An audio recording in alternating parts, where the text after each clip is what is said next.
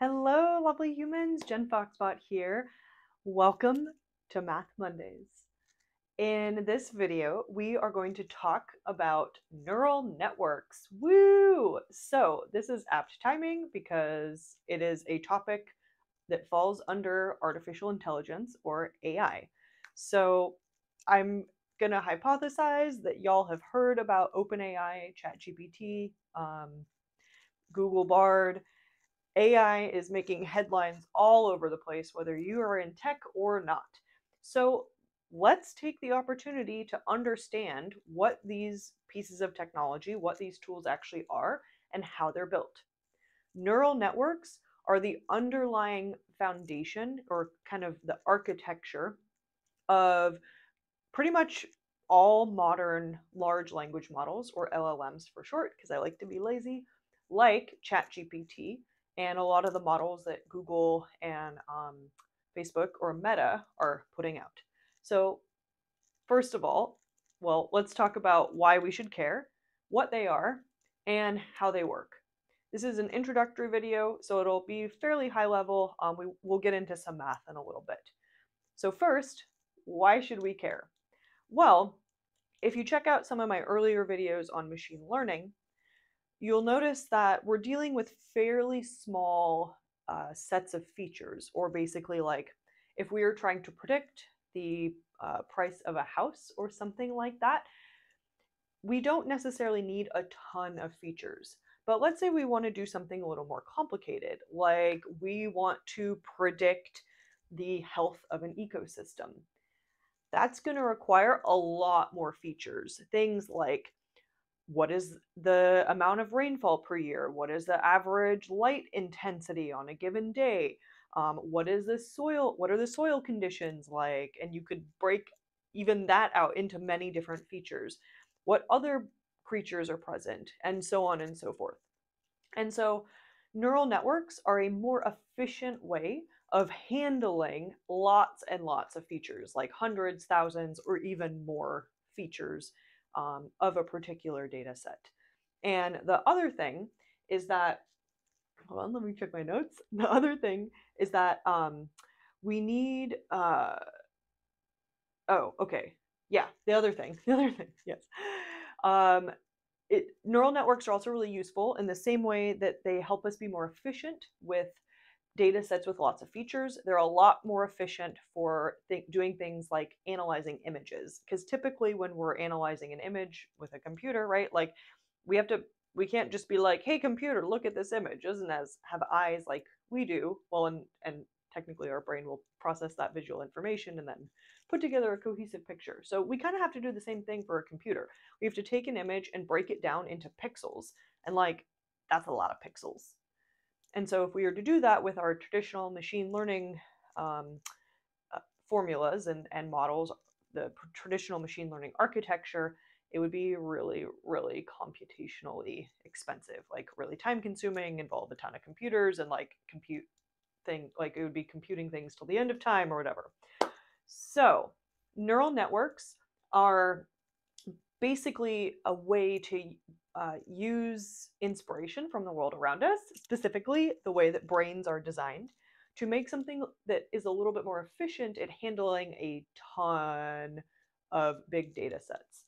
So that's pretty much what neural networks are. They are algorithms that try to mimic the brain. So the hypothesis that goes into this, because let's be real, we're still learning a lot about the brain. Um, we're, we're getting there and it's pretty cool, but we still have a lot more to learn. And I love that most of it is a mystery. So, our hypothesis is that we can create kind of one learning algorithm. Our brain is really good at learning things, right? And there's a lot of examples and experiments that have shown that you can actually take different parts of your brain and retrain it to do different things. So it's what we kind of like to call plastic, like it can adapt very well. And so uh, that's the goal is to create one architecture that we can use to do lots of different things um, and so how do we actually model this all right what does this look like what does a neural network look like so this is part three yay okay so we have our artificial neuron here i'm to give it a little smiley face okay. So this is, I'm to put it in quotes. This is our neuron. It's not, you know, this is a representation. And then we have a bunch of inputs. Da, da, da, da, da. This is our data. So we'll call these like x1, x2, x3. We also have like an x naught up here. Um, that's always going to be 1. We'll get into that later. Um, but these are our inputs.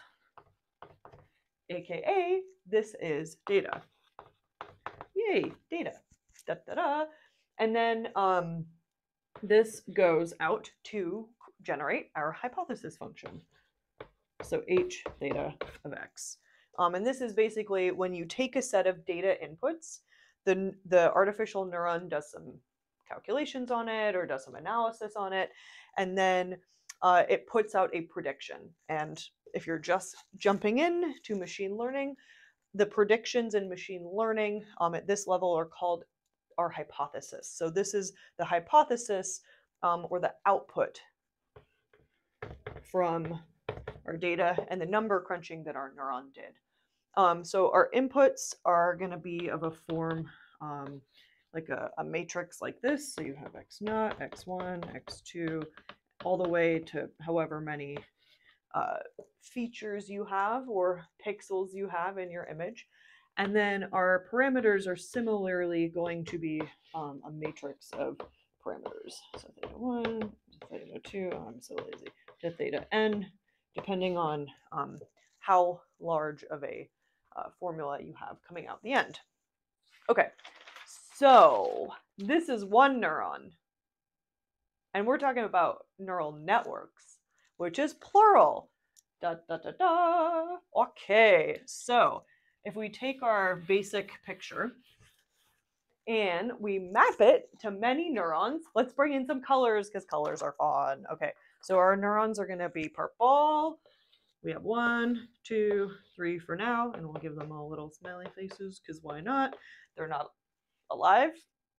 Our artificial neurons definitely aren't alive, but like it's fun and cute. So bear with me. Okay. Um, actually, I want to use yellow because yellow goes nice with purple. Okay, so now we have our inputs. So we have like x1, x2, and x3. And so with the multiple neurons, each of our inputs has to map to each of our neurons. Ooh, wait, let's add some labels too. So these um, are our neurons. I hope that's not too small. I need to write a lot. That might be a little too small. Okay, these are our neurons, our tiny neurons.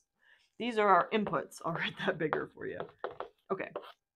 Um, so all of our inputs have to map to all of our neurons. So X1 has to map to, to neuron number one, has to map to neuron number two, and it has to map to neuron number three.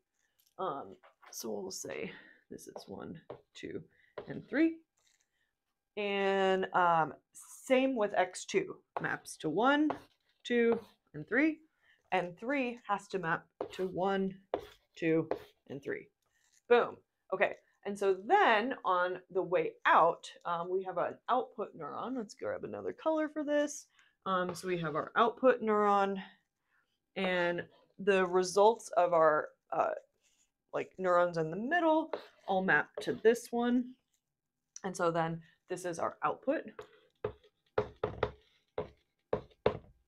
And our output is what gives us our hypothesis function. I'm running out of space. H theta of x.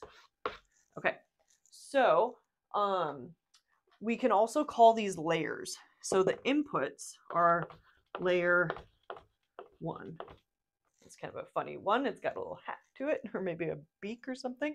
Um, this is a hidden layer because we don't see it, quote unquote. We see the inputs, we see the output, but we don't see the neurons in the middle. So this is a hidden layer two. And then th this is our output layer three. Okay, so this neural network has three layers, two of which we can see and one that's hidden. Um, so in our hidden layer, we have three neurons, which we can represent like this. So um, we have A, which is of layer two. Um, so we have the first one, and then we have a we have number two, which is also in layer two. So we're going to give it a superscript of two, and we have a of three, neuron of uh, neuron number three, which is still in layer two. So the layer would be the superscript, and the number, the number neuron, um, would be the subscript. Okay, so that's kind of your general overview without getting into too much math of what a neural network actually is, how it is designed. And most neural networks these days are composed of many, many hidden layers with many, many, many, many neurons. Like we're when we're talking parameters, we're typically talking the number of neurons. Um, so a lot, billions. They're very big. But that also means that they can store a lot of data, which enables them to, you know, do some really complex things like understand user intent. Or basically, if I say something to ChatGPT um, or type something depending on your interface, then ChatGPT can take that input and predict a well, it depends on how you want to use the word, but intelligent response. It can predict an accurate response that is going to be helpful, hopefully, for what I am asking it to do or to um, tell me. So yeah, that's pretty much it. Um, I will leave you with a little bit of a teaser if you want to learn more.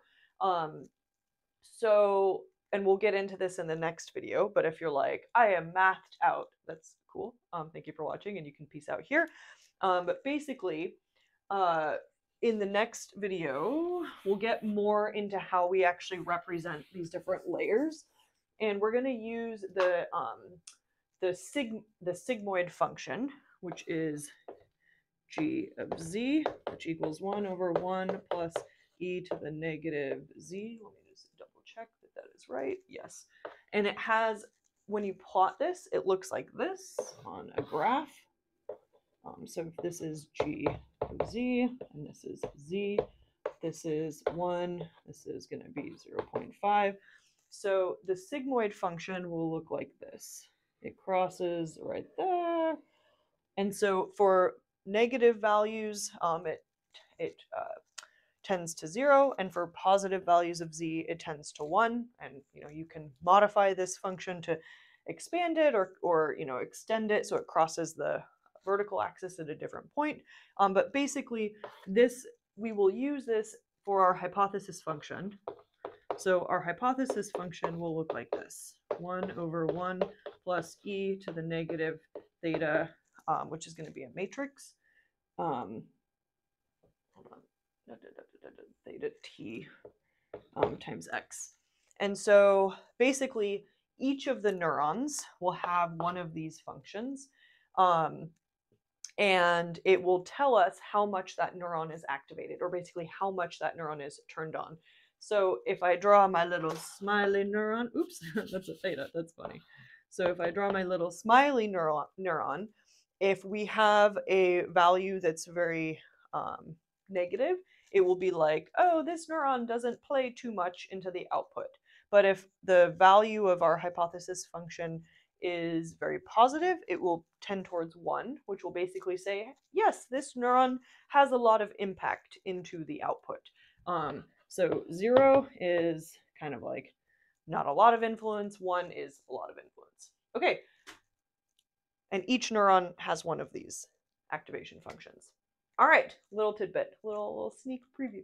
Cool. Okay, please let me know if you have any questions about, uh, well, the introduction to neural networks, or if there are specific topics within the mathematics of AI that you'd like me to get to. Um, I have a personal learning goal of better understanding the transformer architecture, which is what GPT and pretty much most of the major uh, modern large language models, and I'll say in 2023, at the end of 2023, because this stuff is changing super quick. Um, but that's the transformer architecture is what uh, GPT and most of our current LLMs are based on. So that's my personal learning goal. So that's where I'm trying to go to. There are other areas you want to cover, please let me know. All right. Thank you for hanging out with me and for learning more about neural networks with me. See you next time, friends. Bye.